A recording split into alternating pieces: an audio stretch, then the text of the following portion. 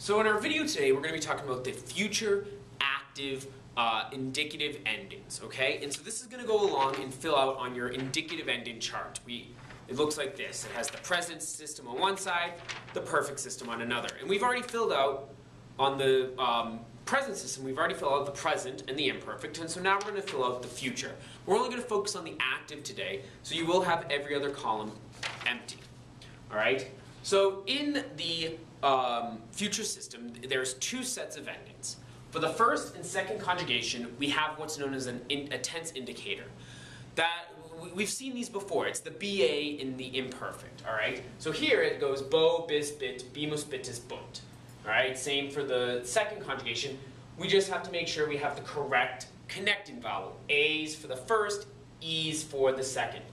All right. But this BI and the BI is in here, but they're they're kind of conglomerated. They're kind of um, the vowels have have lengthened um, and absorbed the I, but the BI is this indicator of the future. All right. With the third, third IOs, and fourth, we just have a vowel change that lets us know. So we have am, ace, et, amus, etus, ent, and you're probably thinking, wait, isn't third, doesn't third have the ERE? Well, it does, but you'll remember in the present, it goes o, is, imus, itis, und. So here we just have these uh, e's instead of i's. All right.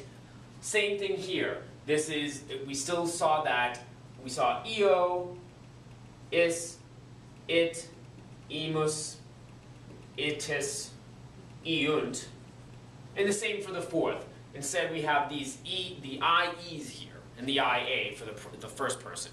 All right? So the, the first and second has the, the BI in it as an indicator of the future.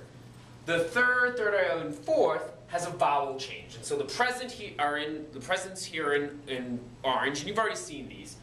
These I's change to E's. All right? And that's the future active indicative. So you should be filling out this bottom row of the chart with all these endings.